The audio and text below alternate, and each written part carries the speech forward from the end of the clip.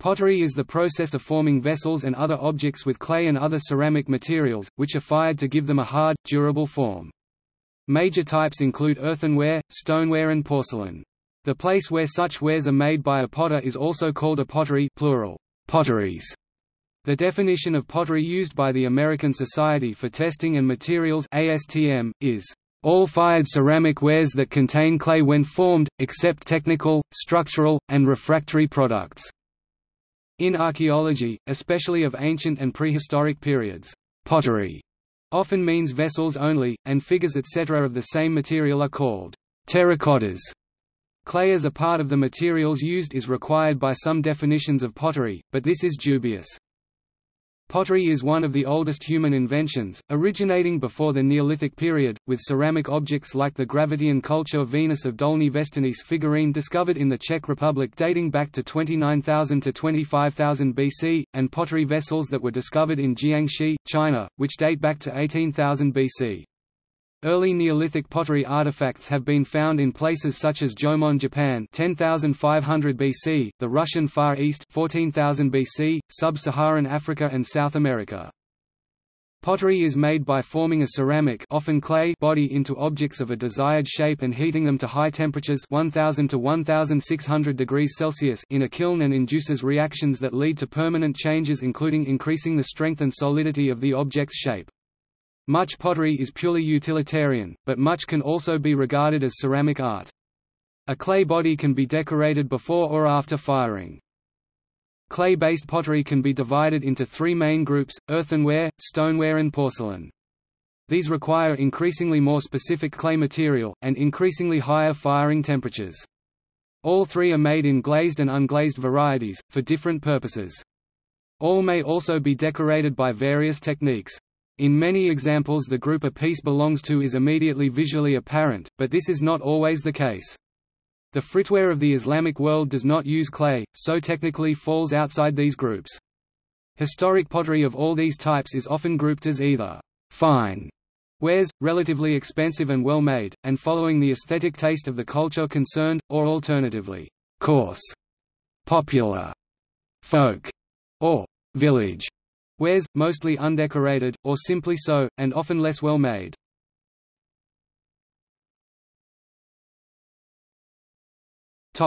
Main types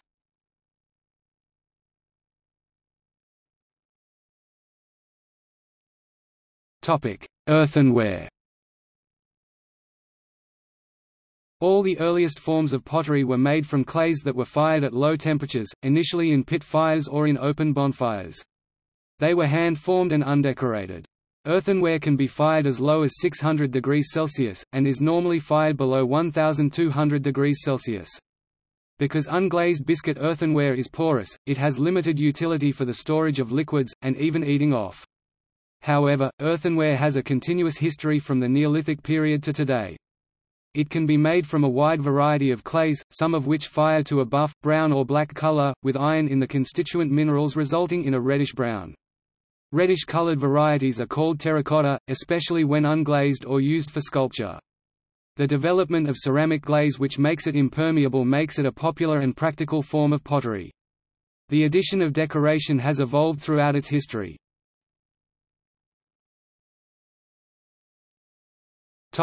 Stoneware Stoneware is pottery that has been fired in a kiln at a relatively high temperature, from about 1100 degrees Celsius to 1200 degrees Celsius, and is stronger and non-porous to liquids. The Chinese, who developed stoneware very early on, classify this together with porcelain as high-fired wares. In contrast, stoneware could only be produced in Europe from the late Middle Ages, as European kilns were less efficient, and the right sorts of clay less common. It remained a speciality of Germany until the Renaissance. Stoneware is very tough and practical, and much of it has always been utilitarian, for the kitchen or storage rather than the table. But fine stoneware has been important in China, Japan and the West, and continues to be made. Many utilitarian types have also come to be appreciated as art.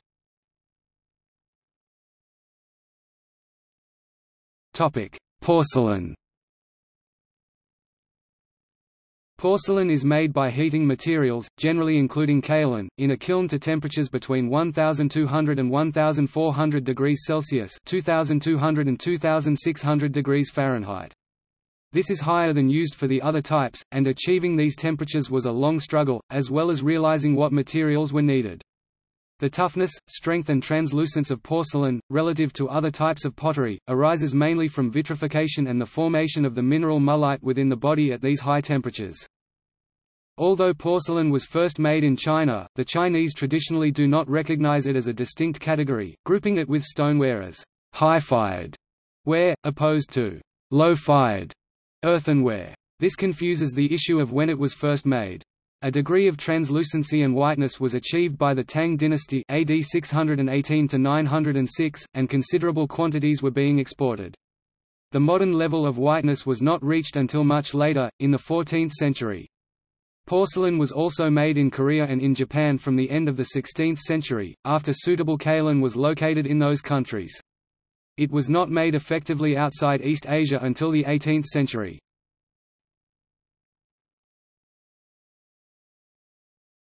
Topic: Production stages. Before being shaped, clay must be prepared. Kneading helps to ensure an even moisture content throughout the body. Air trapped within the clay body needs to be removed. This is called de-airing and can be accomplished either by a machine called a vacuum pug or manually by wedging. Wedging can also help produce an even moisture content. Once a clay body has been kneaded and de-aired or wedged, it is shaped by a variety of techniques. After it has been shaped, it is dried and then fired. Greenware refers to unfired objects. At sufficient moisture content, bodies at this stage are in their most plastic form as they are soft and malleable, and hence can be easily deformed by handling. Leather hard refers to a clay body that has been dried partially. At this stage the clay object has approximately 15% moisture content. Clay bodies at this stage are very firm and only slightly pliable. Trimming and handle attachment often occurs at the leather-hard state. Bone dry refers to clay bodies when they reach a moisture content at or near 0%. At that moisture content, the item is ready to be fired. Biscuit or bisque refers to the clay after the object is shaped to the desired form and fired in the kiln for the first time, known as bisque fired or biscuit fired. This firing changes the clay body in several ways. Mineral components of the clay body will undergo chemical and physical changes that will change the material. Glaze fired is the final stage of some pottery making, or glossed fired. A glaze may be applied to the bisque form and the object can be decorated in several ways. After this the object is glazed fired, which causes the glaze material to melt, then adhere to the object. Depending on the temperature schedule the glaze firing may also further mature the body as chemical and physical changes continue.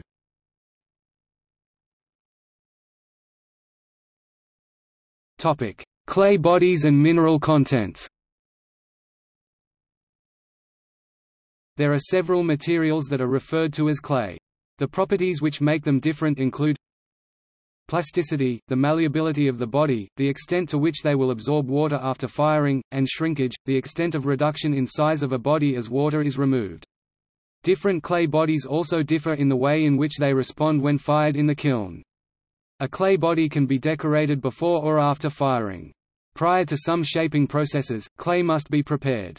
Each of these different clays are composed of different types and amounts of minerals that determine the characteristics of resulting pottery.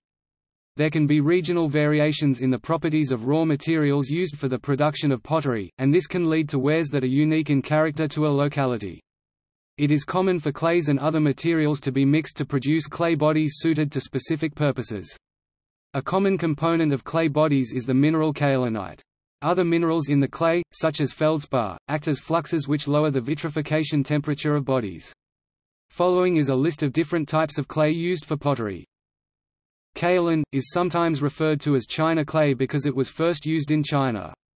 Used for porcelain. Ball clay an extremely plastic, fine-grained sedimentary clay, which may contain some organic matter. Small amounts can be added to porcelain bodies to increase plasticity. Fire clay a clay having a slightly lower percentage of fluxes than kaolin, but usually quite plastic. It is highly heat-resistant form of clay which can be combined with other clays to increase the firing temperature and may be used as an ingredient to make stoneware-type bodies. Stoneware clay suitable for creating stoneware. Has many of the characteristics between fire clay and ball clay, having finer grain, like ball clay but is more heat-resistant like fire clays. Common red clay and shale clay have vegetable and ferric oxide impurities which make them useful for bricks, but are generally unsatisfactory for pottery except under special conditions of a particular deposit. Bentonite and extremely plastic clay which can be added in small quantities to short clay to increase the plasticity.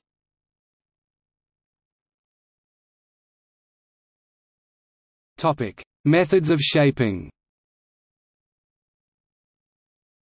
Pottery can be shaped by a range of methods that include 3D printing – This is the latest advance in forming ceramic objects. There are two methods. One involves the layered deposition of soft clay similar to FDM printing the other and powder binding techniques where dry clay powder is fused together layer upon layer with a liquid.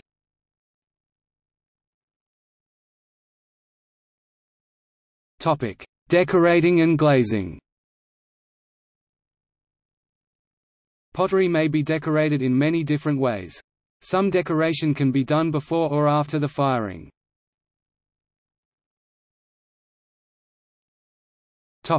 Decoration Painting has been used since early prehistoric times, and can be very elaborate. The painting is often applied to pottery that has been fired once, and may then be overlaid with a glaze afterwards. Many pigments change color when fired, and the painter must allow for this. Glaze perhaps the most common form of decoration, that also serves as protection to the pottery, by being tougher and keeping liquid from penetrating the pottery. Glaze may be clear, especially over painting, or colored and opaque. There is more detail in the section below. Carving pottery vessels may be decorated by shallow carving of the clay body, typically with a knife or similar instrument used on the wheel. This is common in Chinese porcelain of the classic periods. Burnishing the surface of pottery wares may be burnished prior to firing by rubbing with a suitable instrument of wood, steel or stone to produce a polished finish that survives firing. It is possible to produce very highly polished wares when fine clays are used or when the polishing is carried out on wares that have been partially dried and contain little water, though wares in this condition are extremely fragile and the risk of breakage is high. Terra sigillata is an ancient form of decorating ceramics that was first developed in ancient Greece. Additives can be worked into the clay body prior to forming, to produce desired effects in the fired wares. Coarse additives such as sand and grog fired clay which has been finely ground are sometimes used to give the final product a required texture. Contrasting colored clays and grogs are sometimes used to produce patterns in the finished wares.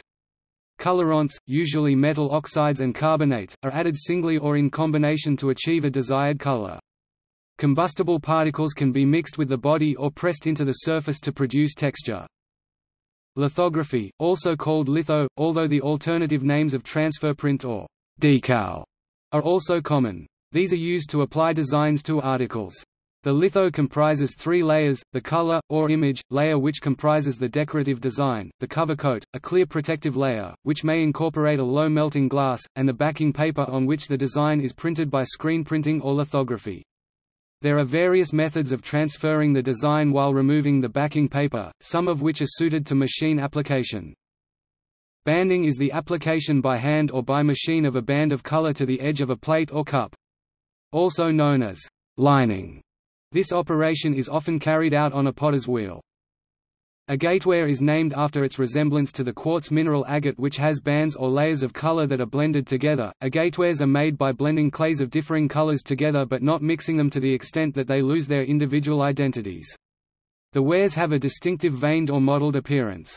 The term, agateware, is used to describe such wares in the United Kingdom. In Japan the term, neriage is used and in China, where such things have been made since at least the Tang dynasty, they are called marbled wares. Great care is required in the selection of clays to be used for making agatewares as the clays used must have matching thermal movement characteristics. Engobe, this is a clay slip, that is used to coat the surface of pottery, usually before firing.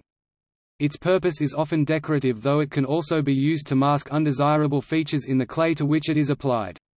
Engobe slip may be applied by painting or by dipping to provide a uniform, smooth, coating. Engobe has been used by potters from prehistoric times until the present day and is sometimes combined with sgraffito decoration, where a layer of engobe is scratched through to reveal the color of the underlying clay. With care it is possible to apply a second coat of engobe of a different color to the first and to incise decoration through the second coat to expose the color of the underlying coat.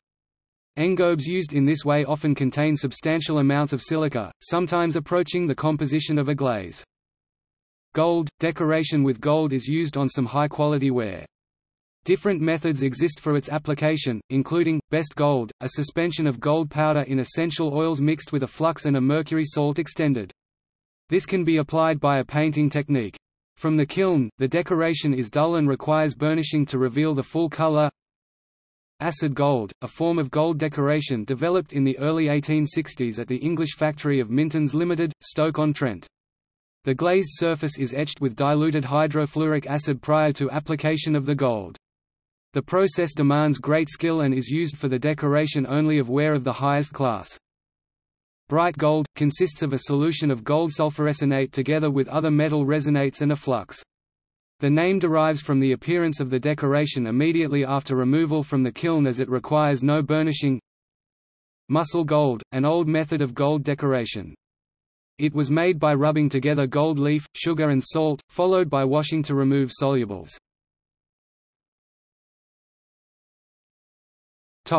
Glaze Glaze is a glassy coating on pottery, the primary purposes of which are decoration and protection. One important use of glaze is to render porous pottery vessels impermeable to water and other liquids. Glaze may be applied by dusting the unfired composition over the ware or by spraying, dipping, trailing or brushing on a thin slurry composed of the unfired glaze and water. The color of a glaze after it has been fired may be significantly different from before firing. To prevent glazed wares sticking to kiln furniture during firing, either a small part of the object being fired for example, the foot is left unglazed or, alternatively, special refractory spurs are used as supports. These are removed and discarded after the firing. Some specialized glazing techniques include Salt glazing, where common salt is introduced to the kiln during the firing process.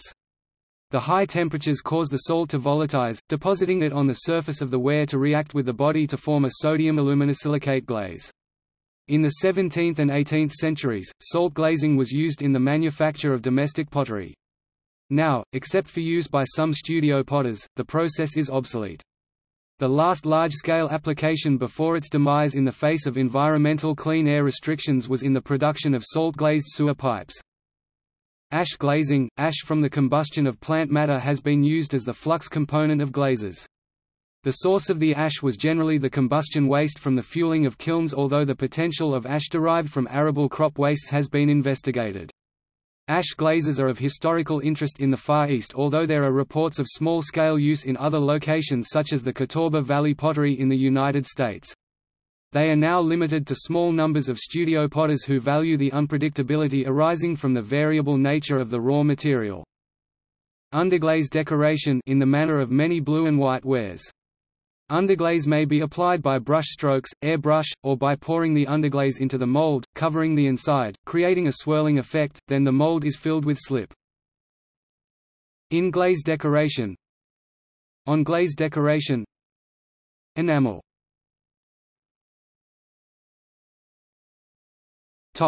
Firing Firing produces irreversible changes in the body. It is only after firing that the article or material is pottery. In lower fired pottery, the changes include sintering, the fusing together of coarser particles in the body at their points of contact with each other. In the case of porcelain, where different materials and higher firing temperatures are used, the physical, chemical and mineralogical properties of the constituents in the body are greatly altered. In all cases, the reason for firing is to permanently harden the wares and the firing regime must be appropriate to the materials used to make them. As a rough guide, modern earthenwares are normally fired at temperatures in the range of about 1000 degrees Celsius (1830 degrees Fahrenheit) to 1200 degrees Celsius (2190 degrees Fahrenheit). Stonewares at between about 1100 degrees Celsius (2010 degrees Fahrenheit) to 1300 degrees Celsius (2370 degrees Fahrenheit), and porcelains at between about 1200 degrees Celsius (2190 degrees Fahrenheit) to 1000 1400 degrees Celsius 2550 degrees Fahrenheit.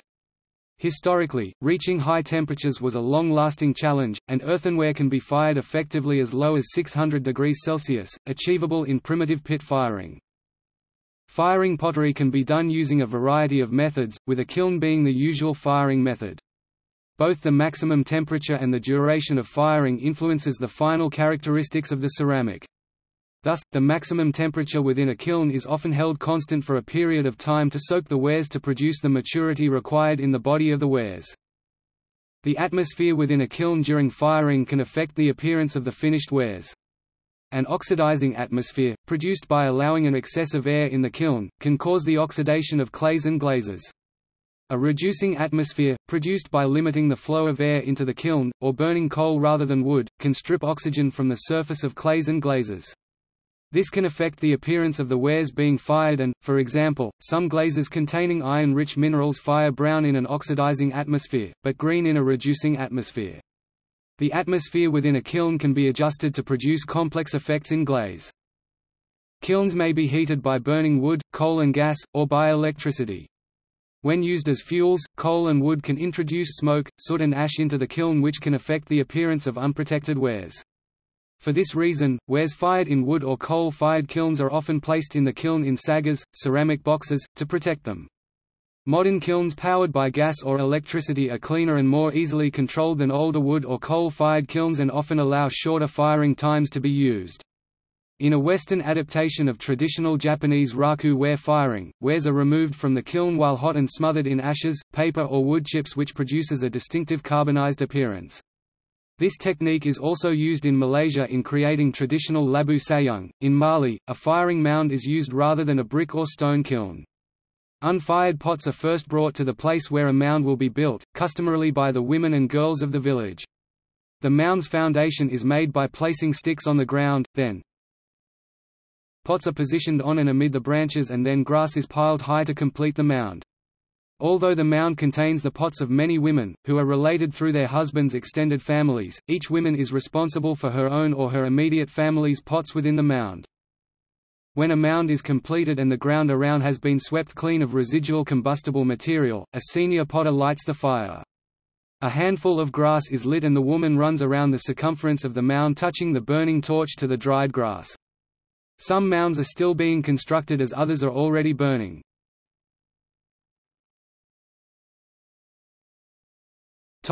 History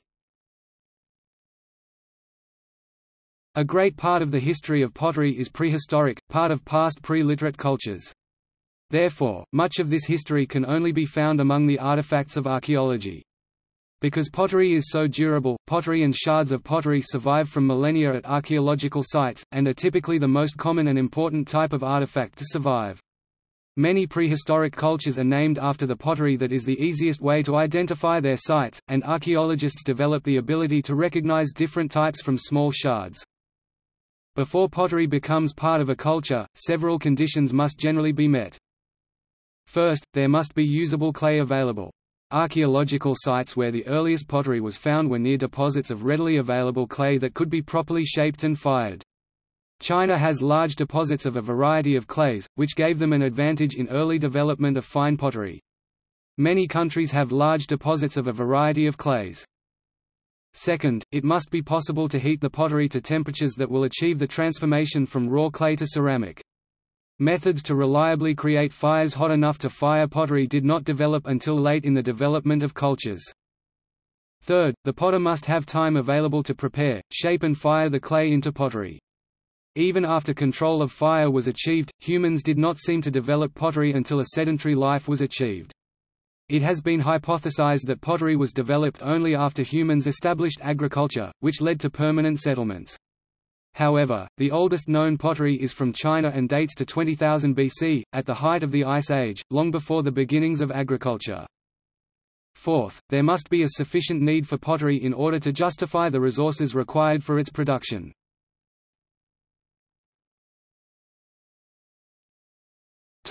Early pottery Methods of forming, hand shaping was the earliest method used to form vessels. This included the combination of pinching and coiling. Firing – The earliest method for firing pottery wares was the use of bonfires pit-fired pottery. Firing times might be short but the peak temperatures achieved in the fire could be high, perhaps in the region of 900 degrees Celsius 1650 degrees Fahrenheit, and were reached very quickly. Clay – Early potters used whatever clay was available to them in their geographic vicinity. However, the lowest quality common red clay was adequate for low-temperature fires used for the earliest pots. Clays tempered with sand, grit, crushed shell or crushed pottery were often used to make bonfire-fired ceramics because they provided an open body texture that allowed water and volatile components of the clay to escape freely. The coarser particles in the clay also acted to restrain shrinkage during drying, and hence reduce the risk of cracking. Form – In the main, early bonfire-fired wares were made with rounded bottoms to avoid sharp angles that might be susceptible to cracking. Glazing – The earliest pots were not glazed. The potter's wheel was invented in Mesopotamia sometime between 6000 and 4000 BC Ubaid period and revolutionized pottery production. Molds were used to a limited extent as early as the 5th and 6th century BC by the Etruscans and more extensively by the Romans. Slipcasting, a popular method for shaping irregular-shaped articles. It was first practiced, to a limited extent, in China as early as the Tang dynasty. Transition to kilns, the earliest intentionally constructed were pit kilns or trench kilns—holes dug in the ground and covered with fuel. Holes in the ground provided insulation and resulted in better control over firing. Kilns, pit fire methods were adequate for creating simple earthenware, but other pottery types needed more sophisticated kilns see below kilns.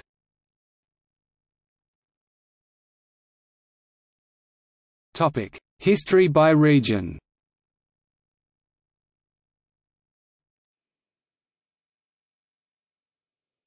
Beginnings of pottery Pottery may well have been discovered independently in various places, probably by accidentally creating it at the bottom of fires on a clay soil. All the earliest vessel forms were pit-fired and made by coiling, which is a simple technology to learn.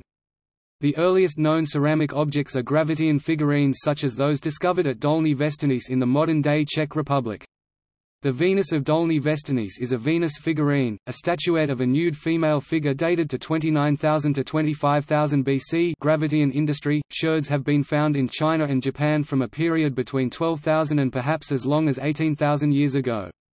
As of 2012, the earliest pottery found anywhere in the world, dating to 20,000 to 19,000 years before the present, was found at Xianrendong Cave in the Jiangxi province of China. Other early pottery vessels include those excavated from the Yuchanyan Cave in southern China, dated from 16,000 BC, and those found in the Amur River basin in the Russian Far East, dated from 14,000 BC. The Odai Yamamoto I site, belonging to the Jomon period, currently has the oldest pottery in Japan. Excavations in 1998 uncovered earthenware fragments which have been dated as early as 14,500 BC. The term, jomon, means cord marked in Japanese. This refers to the markings made on the vessels and figures using sticks with cords during their production. Recent research has elucidated how Jomon pottery was used by its creators. It appears that pottery was independently developed in sub-Saharan Africa during the 10th millennium BC, with findings dating to at least 9400 BC and in South America during the 10000s BC. The Malian finds date to the same period as similar finds from East Asia, the triangle between Siberia, China and Japan, and are associated in both regions to the same climatic changes at the end of the Ice Age new grassland develops, enabling hunter-gatherers to expand their habitat, met independently by both cultures with similar developments, the creation of pottery for the storage of wild cereals pearl millet, and that of small arrowheads for hunting small game typical of grassland. Alternatively, the creation of pottery in the case of the incipient Jomon civilization could be due to the intensive exploitation of freshwater and marine organisms by late glacial foragers, who started developing ceramic containers for their catch.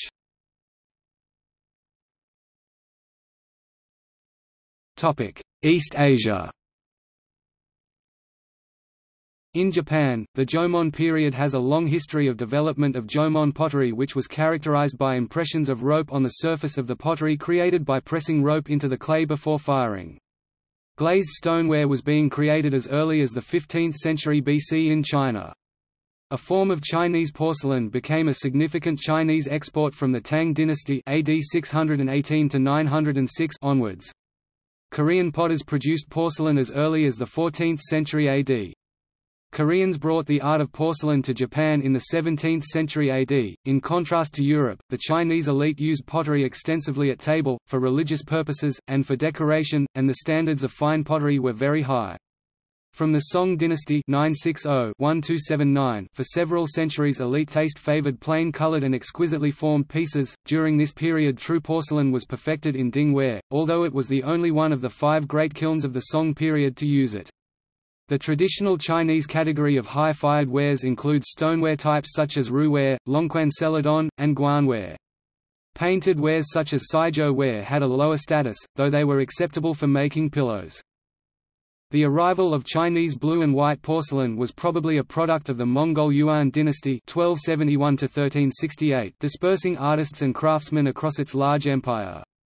Both the cobalt stains used for the blue color, and the style of painted decoration, usually based on plant shapes, were initially borrowed from the Islamic world, which the Mongols had also conquered.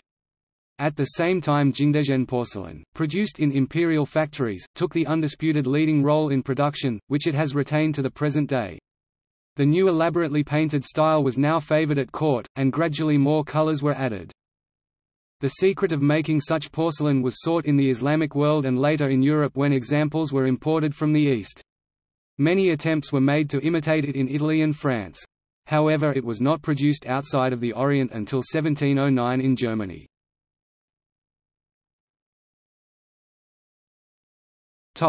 South Asia Pottery was in use in South Asia dating back to prehistoric times, including areas now forming Pakistan and northwest India, during the Mehrgarh period 2 5500 to 4800 BC and Mehrgarh period 3 4800 to 3500 BC, known as the Ceramic Neolithic and Chalcolithic. Pottery, including items known as the Ed-Dur vessels, originated in regions of the Saraswati River, Indus River and have been found in a number of sites in the Indus civilization. Despite an extensive prehistoric record of pottery, including painted wares, little fine or luxury pottery was made in the subcontinent in historic times. Hinduism discourages eating off pottery, which probably largely accounts for this.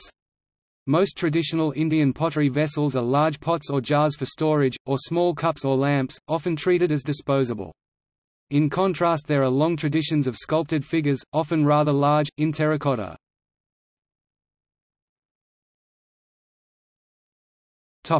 Near East Around 8000 BC during the pre-pottery Neolithic period, and before the invention of pottery, several early settlements became experts in crafting beautiful and highly sophisticated containers from stone, using materials such as alabaster or granite, and employing sand to shape and polish. Artisans used the veins in the material to maximum visual effect. Such object have been found in abundance on the upper Euphrates River, in what is today eastern Syria, especially at the site of Bouqras. The earliest history of pottery production in the Fertile Crescent starts the Pottery Neolithic and can be divided into four periods, namely, the Hassuna period 7000 6500 BC, the Halaf period 6500 5500 BC, the Ubaid period 5500 4000 BC, and the Uruk period 4000 3100 BC. By about 5000 BC pottery making was becoming widespread across the region, and spreading out from it to neighboring areas. Pottery making began in the 7th millennium BC. The earliest forms, which were found at the Hassuna site, were hand-formed from slabs, undecorated, unglazed low-fired pots made from reddish-brown clays. Within the next millennium, wares were decorated with elaborate painted designs and natural forms, incising and burnished. The invention of the potter's wheel in Mesopotamia sometime between 6000 and 4000 BC Ubaid period revolutionized pottery production. Newer kiln designs could fire wares to 1050 degrees Celsius (1920 degrees Fahrenheit) to 1200 degrees Celsius (2190 degrees Fahrenheit), which enabled new possibilities and new preparation of clays. Production was now carried out by small groups of potters for small cities, rather than individuals making wares for a family. The shapes and range of uses for ceramics and pottery expanded beyond simple vessels to store and carry to specialized cooking utensils, pot stands and rat traps. As the region developed, new organizations and political forms, pottery became more elaborate and varied. Some wares were made using molds, allowing for increased production for the needs of the growing populations. Glazing was commonly used and pottery was more decorated. In the Chalcolithic period in Mesopotamia, Halafian pottery achieved a level of technical competence and sophistication, not seen until the later developments of Greek pottery with Corinthian and Attic ware.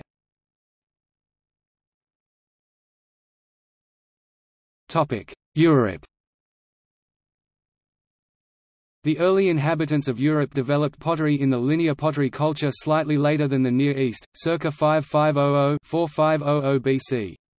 In the ancient western Mediterranean elaborately painted earthenware reached very high levels of artistic achievement in the Greek world, there are large numbers of survivals from tombs. Minoan pottery was characterized by complex painted decoration with natural themes. The classical Greek culture began to emerge around 1000 BC featuring a variety of well-crafted pottery which now included the human form as a decorating motif. The pottery wheel was now in regular use. Although glazing was known to these potters, it was not widely used.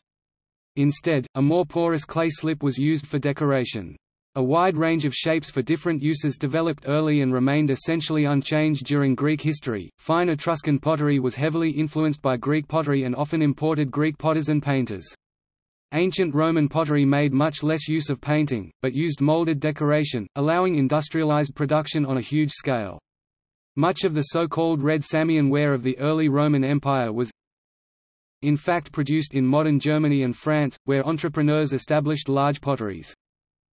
Pottery was hardly seen on the tables of elites from Hellenistic times until the Renaissance, and most medieval wares were coarse and utilitarian, as the elites ate off metal vessels. Imports from Asia revived interest in fine pottery, which European manufacturers eventually learned to make, and from the 18th century European porcelain and other wares from a great number of producers became extremely popular.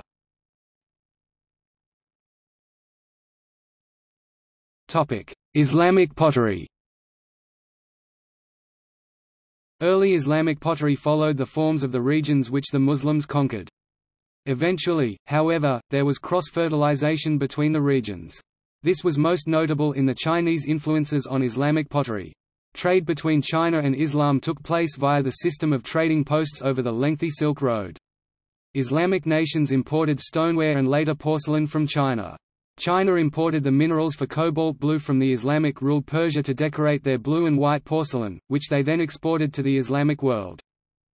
Likewise, Islamic art contributed to a lasting pottery form identified as Hispano-Moresque in Andalucia Islamic Spain.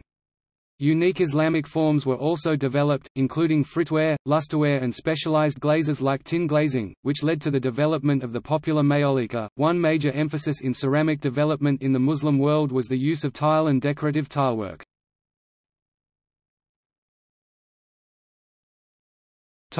Americas most evidence points to an independent development of pottery in the Native American cultures, starting with their Archaic era 3500–2000 BC, and into their formative period 2000 BC, AD 200. These cultures did not develop the stoneware, porcelain or glazes found in the Old World. Maya ceramics include finely painted vessels, usually beakers, with elaborate scenes with several figures and texts. Several cultures, beginning with the Olmec, made terracotta sculpture, and sculptural pieces of humans or animals that are also vessels are produced in many places, with moche portrait vessels among the finest.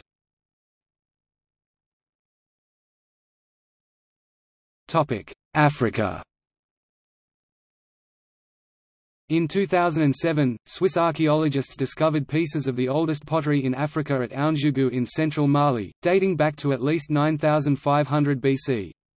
The relationship of the introduction of pot making in many parts of sub-Saharan Africa with the spread of Bantu languages has been long recognized, although the details remain controversial and awaiting further research, and no consensus has been reached. Ancient Egyptian pottery begins after 5000 BC, having spread from the Levant. There were many distinct phases of development in pottery, with very sophisticated wares being produced by the Naqada III period, c. 3200 to 3000 BC. During the early Mediterranean civilizations of the Fertile Crescent, Egypt developed a non-clay-based ceramic which has come to be called Egyptian faience. A similar type of body is still made in Jaipur in India.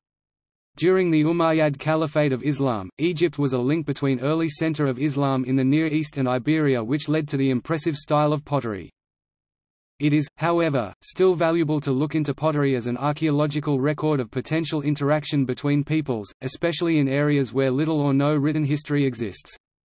Because Africa is primarily heavy in oral traditions, and thus lacks a large body of written historical sources, pottery has a valuable archaeological role. When pottery is placed within the context of linguistic and migratory patterns, it becomes an even more prevalent category of social artifact. As proposed by Olivier P. Gosselain, it is possible to understand ranges of cross-cultural interaction by looking closely at the chaîne opératoire of ceramic production. The methods used to produce pottery in early sub-Saharan Africa are divisible into three categories: techniques visible to the eye, decoration, firing and post-firing techniques, techniques related to the materials, selection or processing of clay, etc., and techniques of molding or fashioning the clay. These three categories can be used to consider the implications of the reoccurrence of a particular sort of pottery in different areas. Generally, the techniques that are easily visible the first category of those mentioned above are thus readily imitated, and may indicate a more distant connection between groups, such as trade in the same market or even relatively close proximity in settlements. Techniques that require more studied replication i.e., the selection of clay and the fashioning of clay may indicate a closer connection between peoples, as these methods are usually only transmissible between potters and those otherwise directly involved in production. Such a relationship requires the ability of the involved parties to communicate effectively, implying pre-existing norms of contact or a shared language between the two.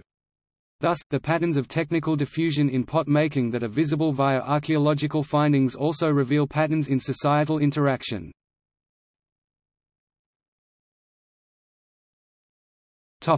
Oceania Polynesia, Melanesia and Micronesia Pottery has been found in archaeological sites across the islands of Oceania. It is attributed to an ancient archaeological culture called the Lapita. Another form of pottery called plainware is found throughout sites of Oceania. The relationship between Lapita pottery and plainware is not altogether clear. The indigenous Australians never developed pottery. After Europeans came to Australia and settled, they found deposits of clay which were analysed by English potters as excellent for making pottery.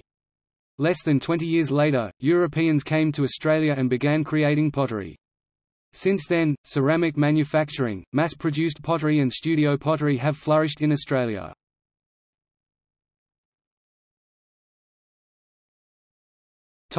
Archaeology The study of pottery can help to provide an insight into past cultures. Pottery is durable, and fragments, at least, often survive long after artifacts made from less durable materials have decayed past recognition. Combined with other evidence, the study of pottery artifacts is helpful in the development of theories on the organization, economic condition and the cultural development of the societies that produced or acquired pottery. The study of pottery may also allow inferences to be drawn about a culture's daily life, religion, social relationships, attitudes towards neighbors, attitudes to their own world and even the way the culture understood the universe. Chronologies based on pottery are often essential for dating non-literate cultures and are often of help in the dating of historic cultures as well. Trace element analysis, mostly by neutron activation, allows the sources of clay to be accurately identified and the thermoluminescence test can be used to provide an estimate of the date of last firing. Examining fired pottery shards from prehistory, scientists learned that during high-temperature firing, iron materials in clay record the exact state of Earth's magnetic field at that exact moment.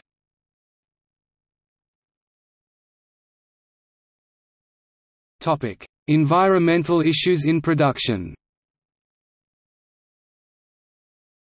Although many of the environmental effects of pottery production have existed for millennia, some of these have been amplified with modern technology and scales of production. The principal factors for consideration fall into two categories, a effects on workers, and b effects on the general environment. Within the effects on workers, chief impacts are indoor air quality, sound levels and possible over-illumination.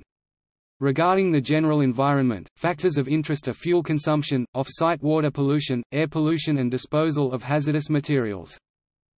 Historically, plumbism lead poisoning was a significant health concern to those glazing pottery. This was recognized at least as early as the 19th century, and the first legislation in the United Kingdom to limit pottery workers' exposure was introduced in 1899. While the risk to those working in ceramics is now much reduced, it can still not be ignored. With respect to indoor air quality, workers can be exposed to fine particulate matter, carbon monoxide and certain heavy metals. The greatest health risk is the potential to develop silicosis from the long-term exposure to crystalline silica. Proper ventilation can reduce the risks, and the first legislation in the United Kingdom to govern ventilation was introduced in 1899. A more recent study at Laney College, Oakland, California suggests that all these factors can be controlled in a well-designed workshop environment.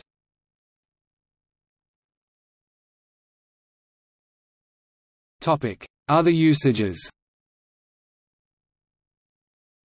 The English city of Stoke-on-Trent is widely known as the Potteries because of the large number of pottery factories or, colloquially, pot banks it was one of the first industrial cities of the modern era where, as early as 1785, 200 pottery manufacturers employed 20,000 workers. For the same reason, the largest football club in the city is known as the Potters.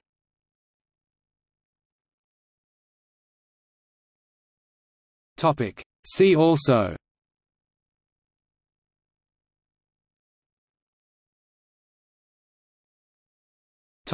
Notes Notes